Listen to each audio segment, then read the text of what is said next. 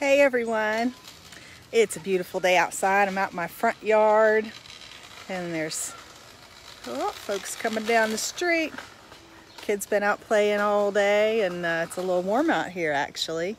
Um, but it's beautiful and I just uh, wanted to come out here for a change. You've been in my living room long enough. Soon we'll be coming together in the church building and I'm so looking forward to that. So um, I hope you guys are having a great day and uh, actually prepared something today because I had something really specific I wanted to talk about and make sure I gave it uh, its due, so to speak. So um, I wanted to talk about physical expression in worship. It's a scary topic, right? we're used to singing, we're used to clapping our hands and raising our hands, um, but we'd rather just sing most of the time. It's uh, uh, just one of those things that we do. So I thought I'd talk about it a little bit.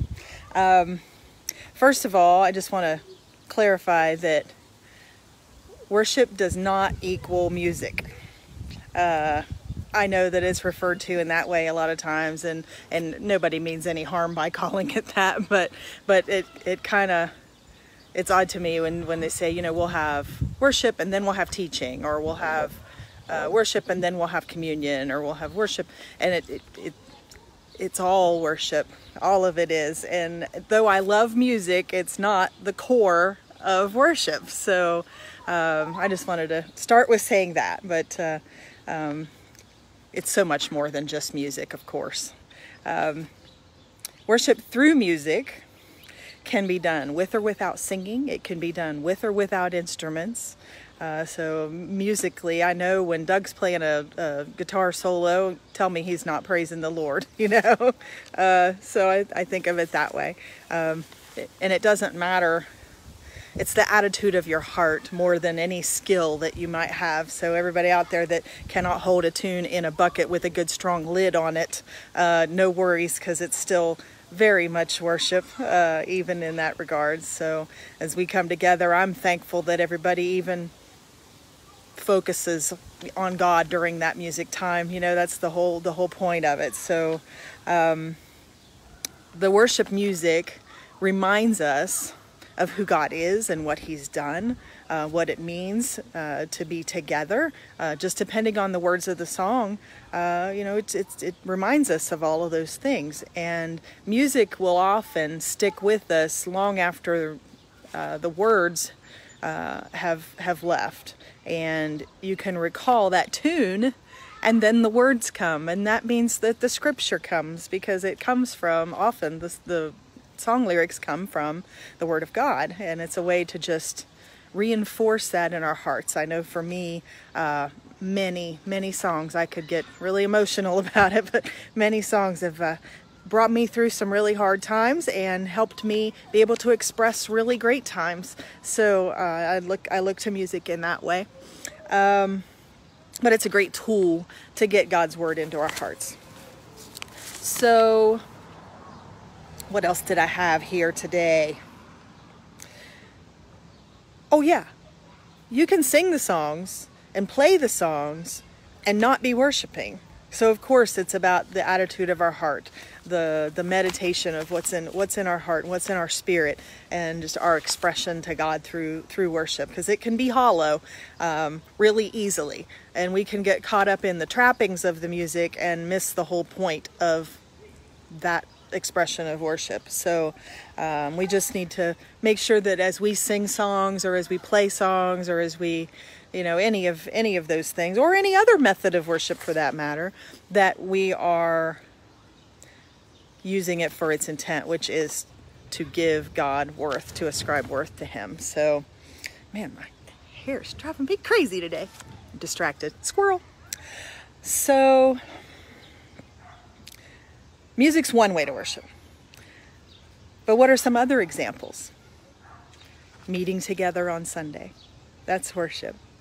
Bible reading, communion, prayer, teaching, the sermon, the message, giving your offering, serving in ministry, lots of other things. If you guys think of more, if you're watching this, throw them out in the comments. Other ways that of things that you consider worship.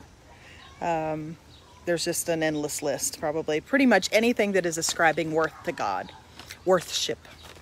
So, since singing has been one of our main methods of worshiping together, and as we come together into the building tomorrow, some with masks, uh, that that we may have to think a little outside of the box because you may not be comfortable singing with a mask on.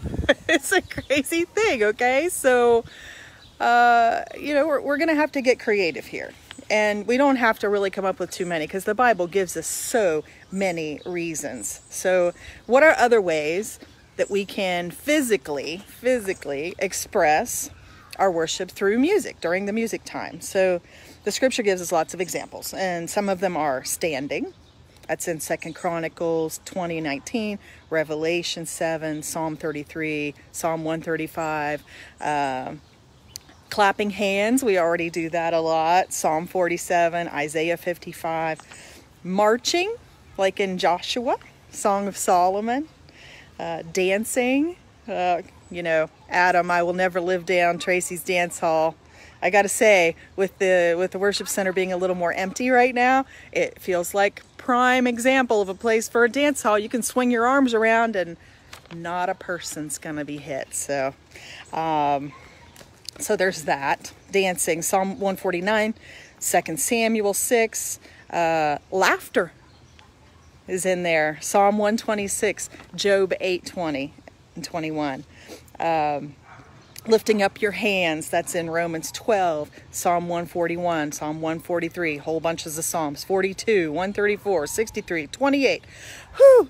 the psalms really like uh, the lifting up of hands can you tell and uh, first timothy 2 also bowing down or kneeling we don't do that a lot uh, partly because i'm not positive i could get back up again so but but the posture of bowing i uh, even just the lowering of our heads, you know. Um, uh, Psalm 95 talks about bowing or kneeling. So, and then there's also falling prostrate before God, and we've seen that in First Kings, in First Chronicles, a lot of Old Testament um, bowing and, and just falling on our knees before Him.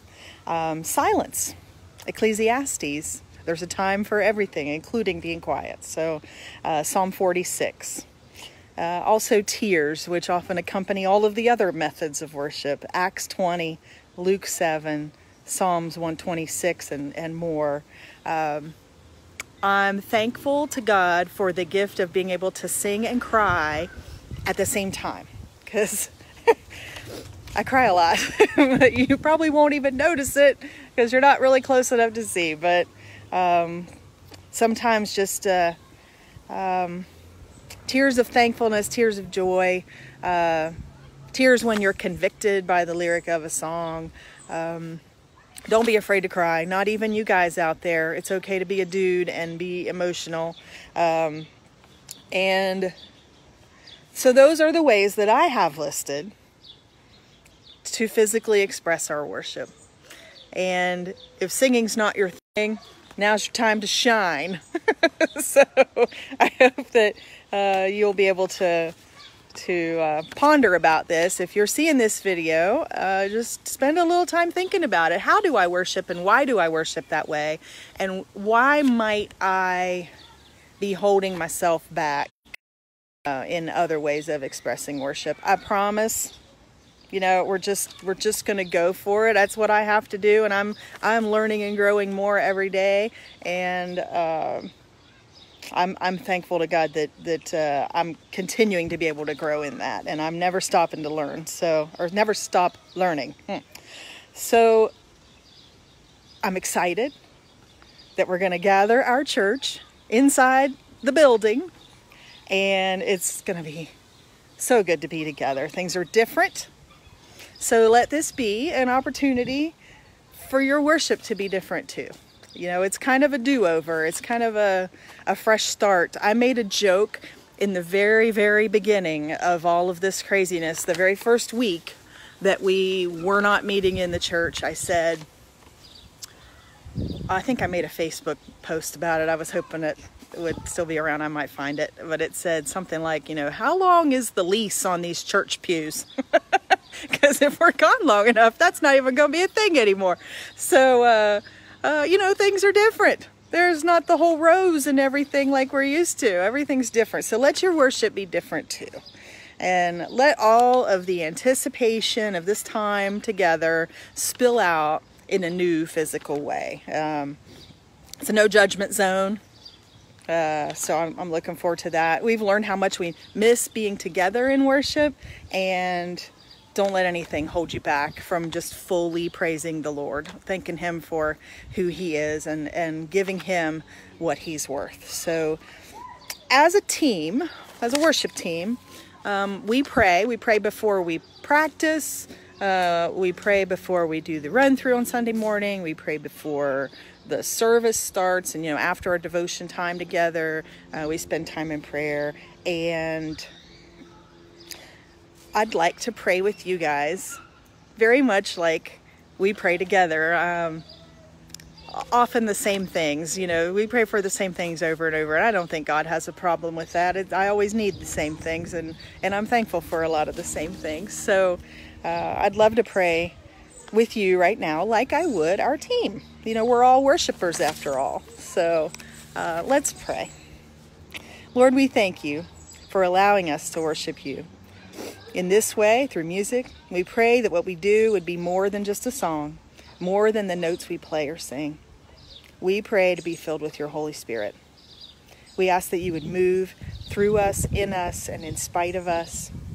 Forgive us, Lord, when we're distracted. Help us to focus on you, Lord. Your goodness to us, your amazing love for us, your grace and mercy toward us. Help us glorify you in what we say, what we play, what we sing, and the way that we live our lives. We love you, Lord. We give you all the glory always. In Jesus' name we pray. Amen. Thanks for joining me today. Can't wait to see your faces, or at least the top half of them tomorrow morning. So uh, I'm excited. I love you guys and we'll see you soon. Bye-bye.